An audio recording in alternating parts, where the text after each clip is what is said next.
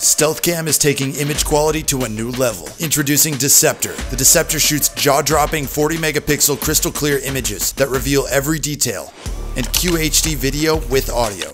No glow infrared flash is completely invisible to game and reveals brilliant night images while remaining unnoticed.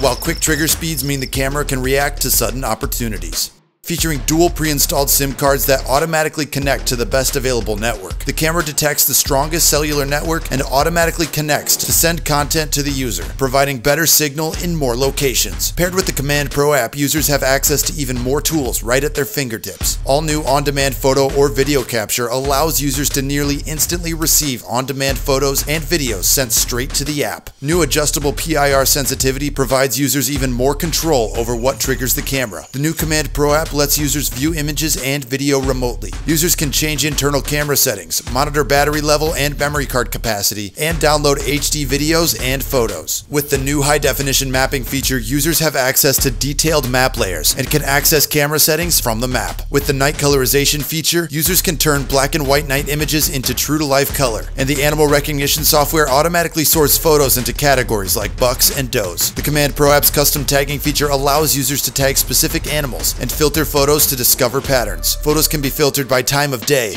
moon phase, temperature, species, and more. With affordable data plans starting as low as $4 a month and all new multi-camera discounts and zero hidden fees to unlock features, users can access the best photo and video quality and afford to run more cameras than ever. More cameras, more info, more successful hunts. The pinnacle of image quality and sharpness. The all-new Deceptor from StealthCam.